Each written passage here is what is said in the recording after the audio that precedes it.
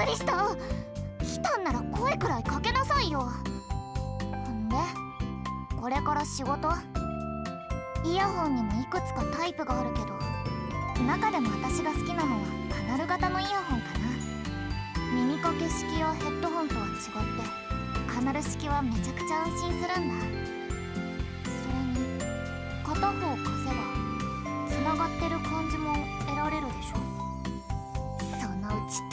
隣部屋のバカ2人をとっちめに行かないとな。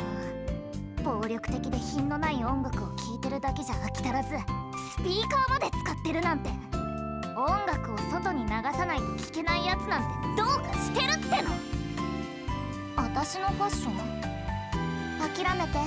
あんたたちには到底真似できっこないから。だって私でも再現できないんだもん。適当に寄せ集めてできた放浪者は違うでしょ。あ音漏れしちゃった。内見の性能もう少し良くならないかな。